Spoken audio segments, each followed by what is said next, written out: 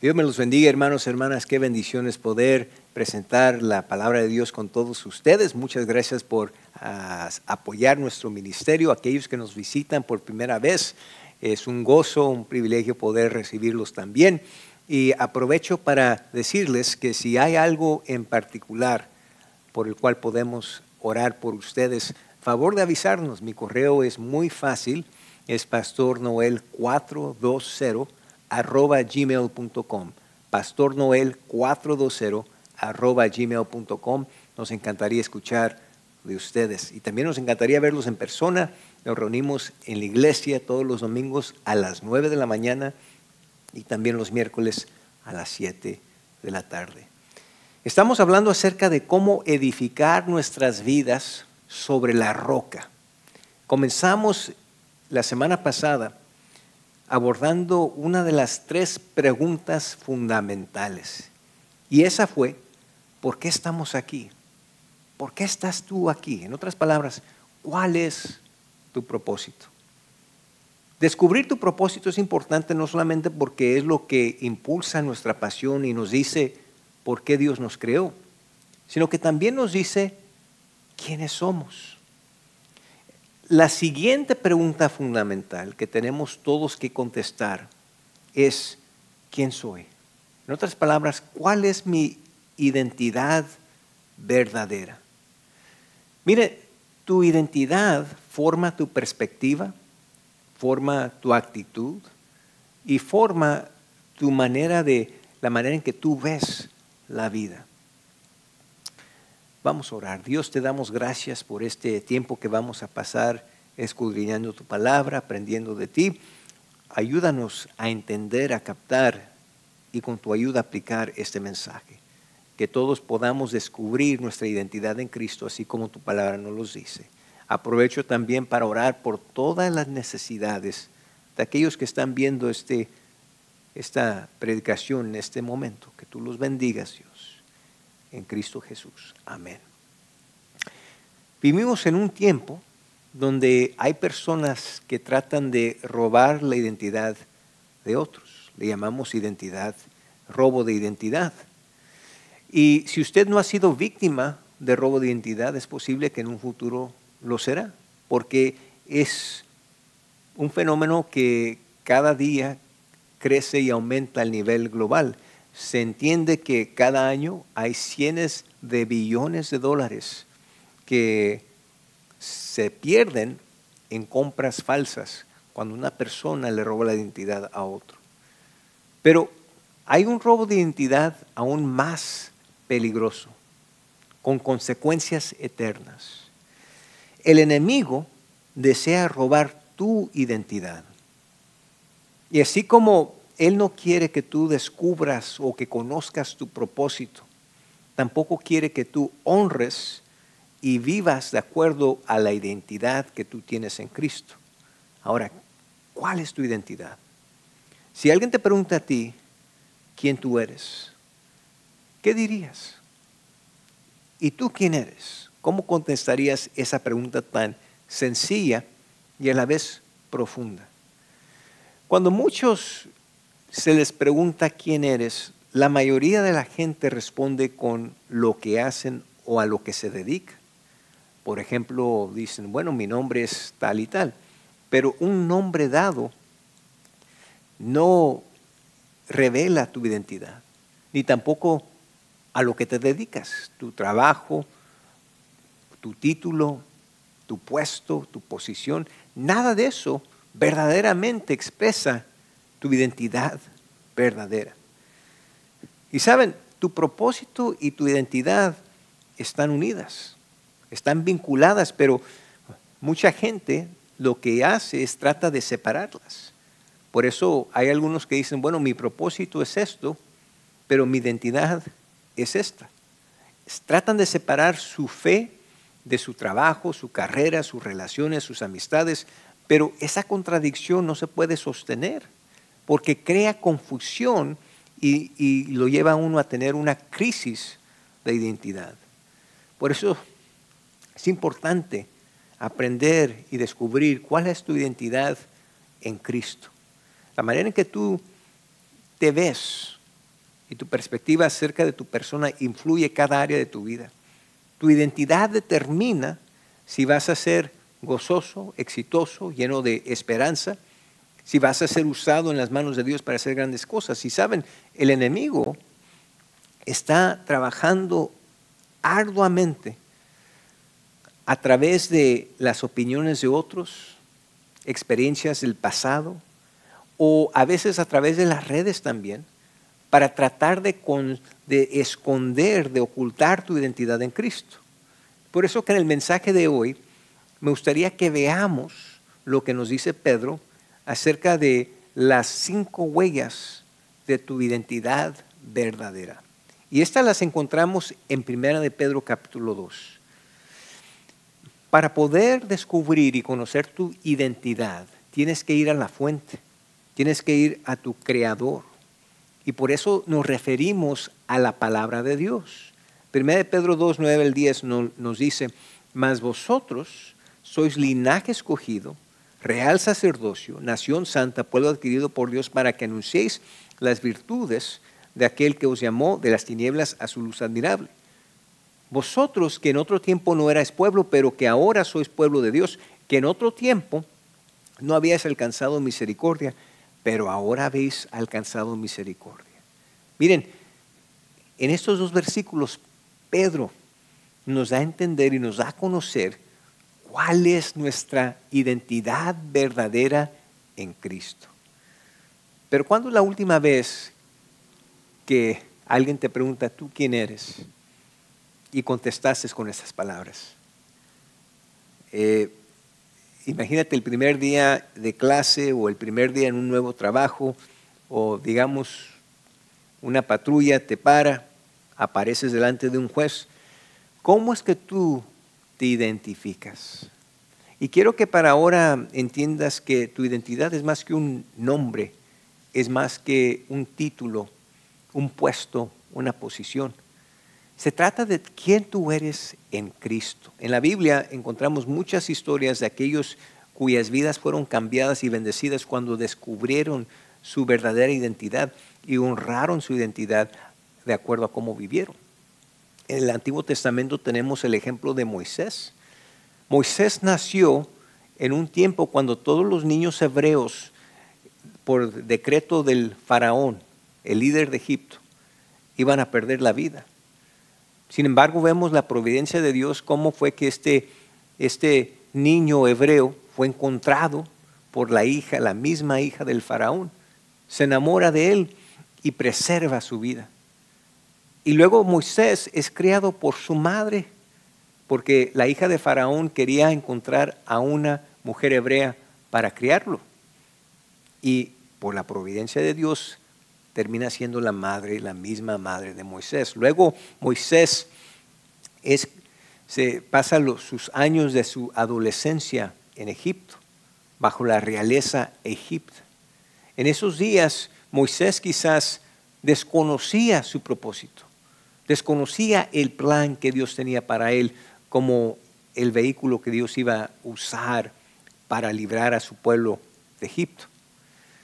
Pero Moisés se da cuenta, viviendo como el nieto de Faraón, él descubre su identidad, se acuerda quizás de lo que aprendió de su madre, se acuerda de los valores que su madre le enseñó de una temprana edad. Y termina Moisés saliendo de Egipto en desgracia, en exilio. fue de, de la fama a ser infamoso, del prestigio a ser un común. Y dejó todas las comodidades de la realeza en Egipto a vivir como una persona común. Y todo esto en este transcurso Dios lo estaba preparando. Pero Moisés tenía que descubrir su propósito verdadero, su identidad verdadera para conocer su misión. Otro ejemplo es José.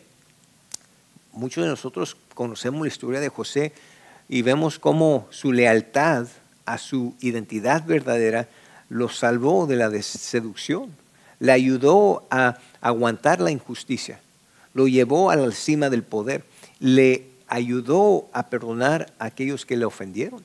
En Génesis capítulo 50, José mismo, cuando sus hermanos atemorizados de lo que José, ahora siendo el segundo eh, en, en poder en Egipto, atemorizados por lo que José iba a hacer para vengarse de lo que estos mismos hermanos le hicieron tantos años anteriormente, José les dijo que no temen, porque aún el mal que ellos habían hecho en contra de su medio hermano, Dios lo usó en su plan para el bien.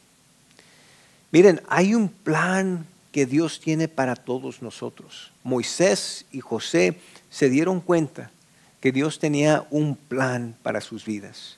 Y no fue el plan de ellos, fue el plan de Dios. Hay un diseñador mayor detrás de todo. Tu vida no es el resultado de chanza o de suerte. Hay un plan.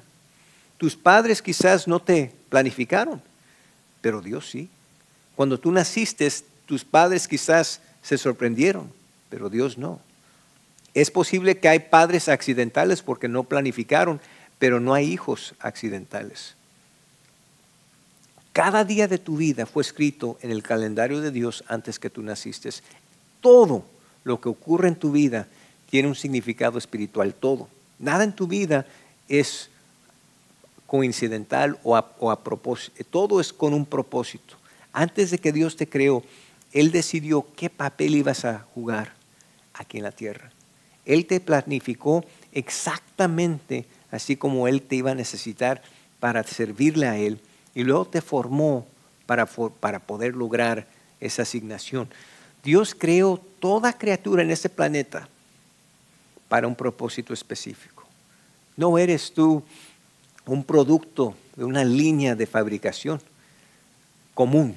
Dios te creó en una manera única, te formó en una manera única. Eh, tú eres una obra maestra de Dios.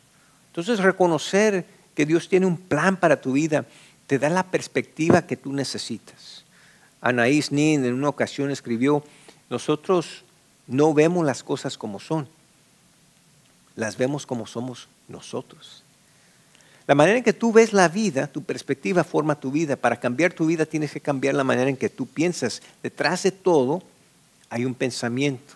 Y cada comportamiento es motivado por una creencia, cada acción es motivada por una actitud. Me recuerda hace algunos años ver una serie de, de documentales acerca de personas que estaban sobrepeso y llegaron a tener problemas médicos con la asistencia de doctores y con especialistas, bajaron mucho peso. Estoy hablando de personas que pesaban más de 800 libras, tenían que bajar 400, a veces más de 400 libras.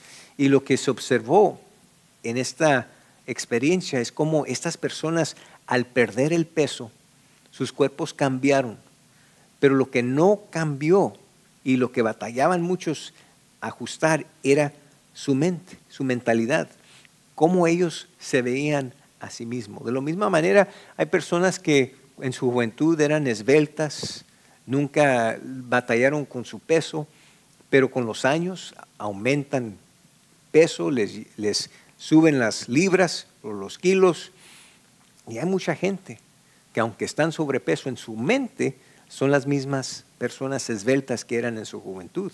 ¿Por qué? Porque su mentalidad no se ha ajustado. Se puede decir lo mismo de personas que crecieron pobres, sin muchos recursos, y de repente eh, Dios los bendice y entran en riqueza material y la, gente, si no ajusta su mentalidad, es posible, aún teniendo mucho materialmente, siguen viviendo como pobres y viceversa. La Biblia nos dice en Proverbios, Proverbios 23, 7, porque cuál es su pensamiento en su corazón, tal es él. Por eso es importante reconocer el poder de cómo tú piensas, de lo que piensas, tu perspectiva. Dios tiene un propósito detrás de todo problema. Él usa cada circunstancia para desarrollar en ti el carácter que Él quiere para ti. El secreto de aguantar es recordar que tu dolor es temporal, pero que tu recompensa es eterna.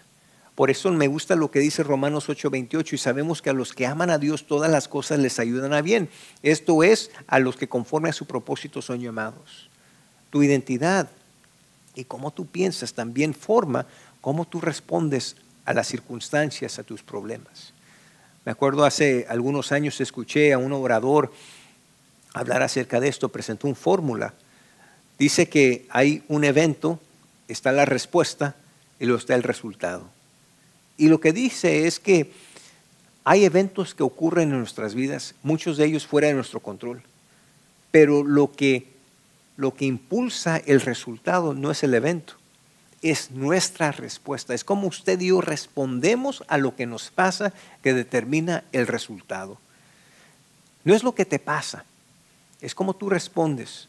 Y mira, mucho de esto tiene que ver con tu perspectiva y cómo tú ves la vida.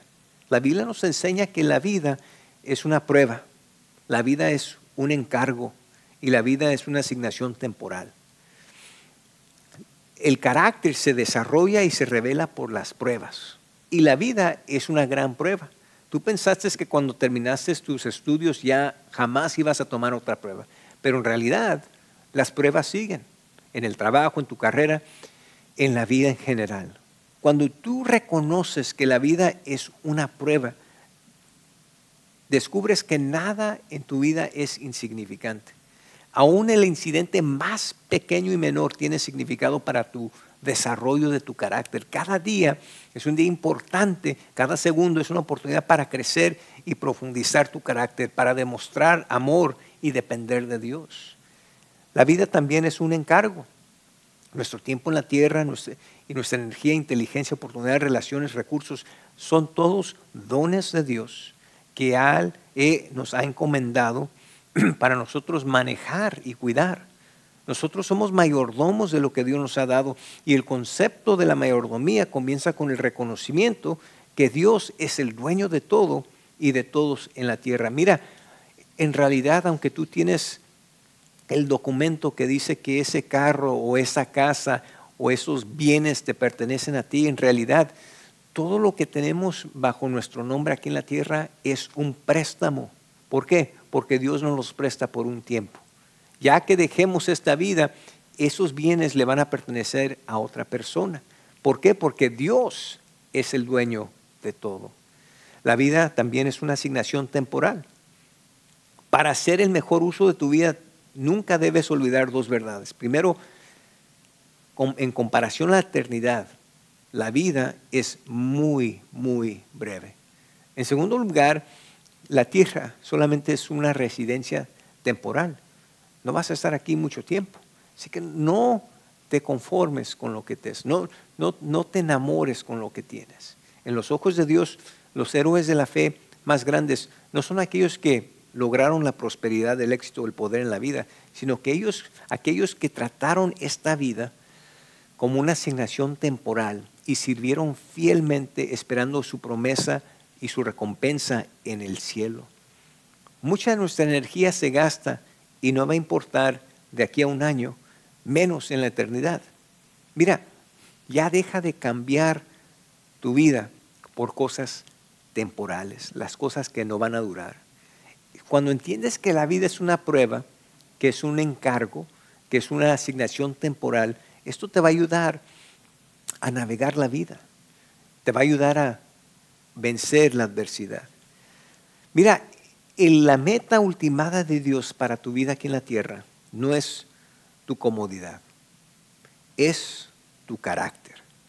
Dios quiere desarrollar tu carácter para que tengas el carácter que vas a necesitar en el cielo. Él quiere que tú crezcas espiritualmente y seas como su Hijo Jesucristo. Y llegar a ser como Cristo no quiere decir que vas a dejar tu personalidad. Dios te creó en una manera única él no quiere destruir lo que Él creó en ti, pero ser como Cristo, la semejanza en Cristo es y se trata de transformar tu carácter, no tu personalidad.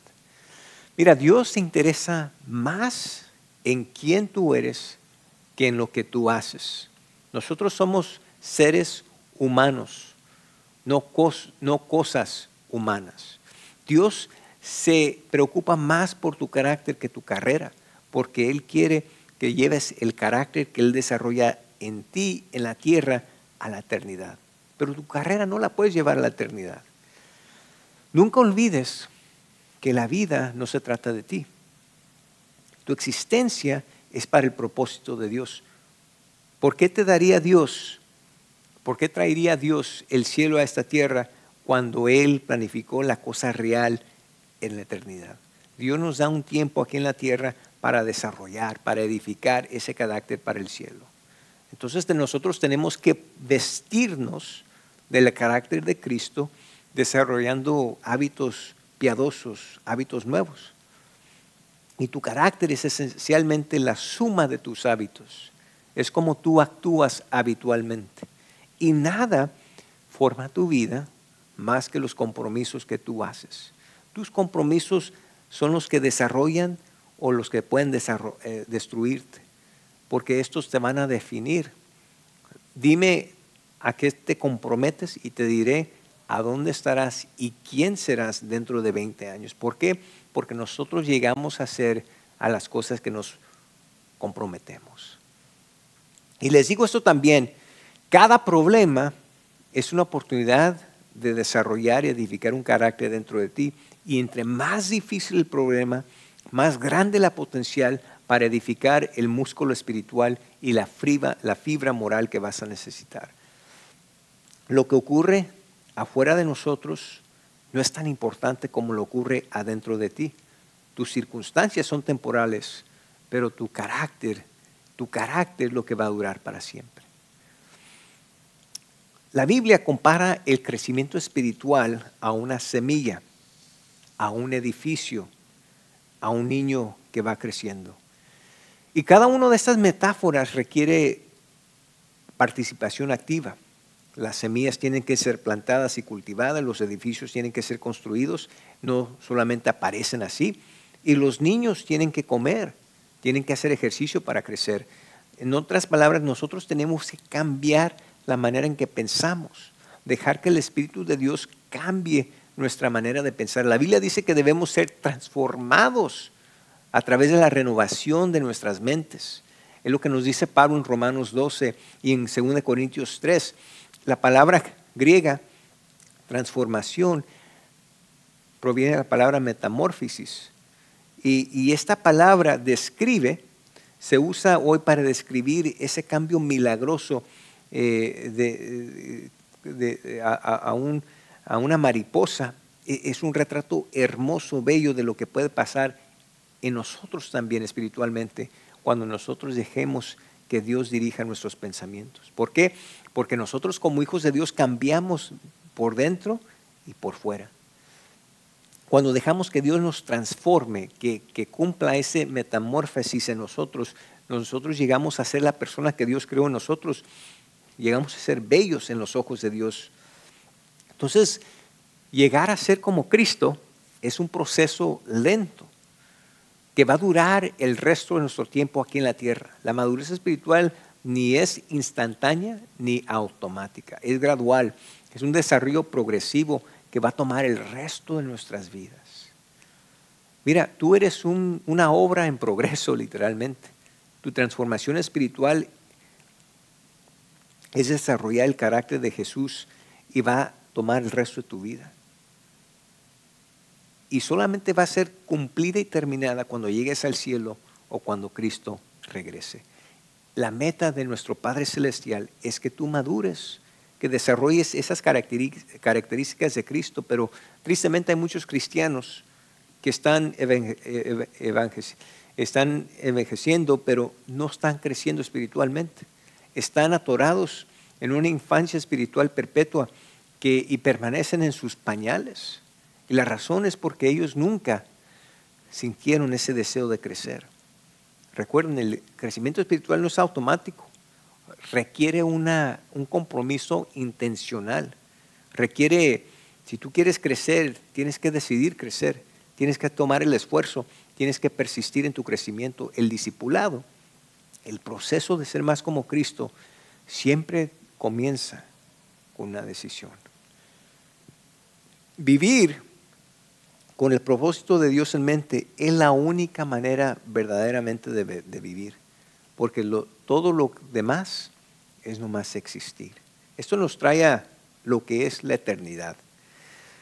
Porque cuando una persona conoce su identidad y su propósito, eso nos prepara para la eternidad. Mucha gente vive sus vidas aquí en la tierra tratando de dejar un legado terrenal. Quieren ser recordados ya después de que dejen esta vida. Pero lo que importante, lo que verdaderamente importa, no es lo que otros digan de ti, sino lo que Dios dice de ti. Entonces, para vivir una vida y dejar un legado terrenal es una meta de, corto plazo. La mejor manera de vivir tu vida es edificando un legado eterno. Mira, tú no, Dios no te puso en esta tierra para que seas recordado aquí. Te puso aquí en la tierra para prepararte para la eternidad. Y la vida aquí en la tierra es solamente un ensayo para la producción verdadera que va a tomar lugar en el cielo por la eternidad. Vas a pasar mucho más tiempo al otro lado de la muerte que lo vas a pasar aquí. Cuando verdaderamente entiendes todo esto, que tu vida es más que lo que existe ahora en este lugar, y descubres que la vida es una preparación para la eternidad, entonces vas a vivir diferentemente. Vas a empezar a vivir en vista de la eternidad. Y esto va a formar cómo tú manejas toda relación, cada tarea, cada circunstancia. Y de repente las actividades, las metas, aún los problemas que en un pasado fueron importantes para ti, ahora van a parecer insignificantes. ¿Por qué? Porque entre más te acercas a Dios, más pequeñas van a parecer todas estas circunstancias, problemas, los afanes. Cada acto de tu vida va a sintonizarse con la vibración de la eternidad. Por eso les digo que el peligro más grande de la vida presente es cuando vivimos con un plazo, una vida de, corto plazo. Pero para hacer lo mejor, lo mayor de tu vida, tienes que tener una visión por la eternidad continua en tu mente y valorarlo en tu corazón. Porque hay más en la vida que lo que existe ahora y en el presente. Los dejo con tres puntos acerca de los propósitos. Tres puntos acerca de tu propósito. Para descubrir tu identidad y tu propósito a través de una relación con Cristo. Mira, Dios pensó en ti mucho antes que naciste. Tu propósito, el propósito de Él para tu vida, Él lo formó muchos años antes que fuiste concebido. Él te planeó antes de que exististe, eh, existieras sin tu voluntad. Tú puedes escoger tu carrera, tu esposo, tu esposa, tus quehaceres, muchas, muchos aspectos de tu vida, pero tú no escoges tu propósito, solamente Dios lo escoge. Y el propósito para tu vida es parte de un plan más grande, más amplio que Dios tiene para la eternidad. Muchos batallan con estas tres cosas. Primera es, ¿cuál es mi identidad? Su identidad. ¿Quién soy? Segundo, es importancia. ¿Verdaderamente significo algo? ¿Vale mi vida algo? tercer lugar es impacto. ¿Cuál es mi lugar en esta vida? Mira, para contestar estas tres preguntas, tienes que ir a Dios, nuestro Creador. Tienes que ir a su palabra. Mira, si quieres tú edificar tu vida sobre la roca sólida, si quieres llegar al fin de esta vida aquí en la tierra y saber que viviste la vida que Dios formó y Dios planeó para ti, tienes que en primer lugar contestar la pregunta, ¿por qué estoy aquí? ¿Cuál es mi propósito? Y segunda, la pregunta de hoy es, ¿quién soy? ¿Cuál es mi identidad? Si te acercas a Dios, lo vas a descubrir en Él. Te damos gracias Dios por este mensaje, por enseñarnos hoy que si queremos edificar nuestras vidas sobre la roca sólida, tenemos que descubrir cuál es nuestro propósito y tenemos que descubrir cuál es nuestra identidad. Ayúdanos Dios, por favor, a descubrir, a encontrar las respuestas a esas preguntas en ti, porque solamente en ti vamos a encontrarlas. Gracias Dios. Bendice a todos los que están escuchando ahora en Cristo Jesús. Amén. Dios me los bendiga a todos ustedes.